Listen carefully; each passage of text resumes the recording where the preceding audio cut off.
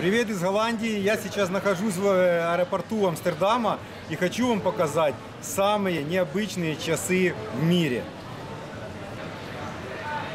Внутри огромных часов сидит часовщик. И с переходом каждой минуты он просто стирает предыдущую и рисует новую минутную стрелку. Можете представить, какая интересная и забавная у него работа. Вот прошла одна минута, он стрелку вытер. Конечно же, по-голландски, аккуратненько все вытер.